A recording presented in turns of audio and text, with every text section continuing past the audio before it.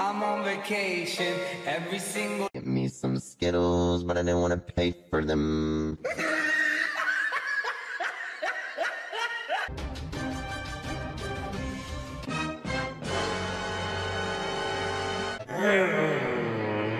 And then one of the store attendants came up to me and was like, Put that back and grabbed my arm and I said, Don't touch me.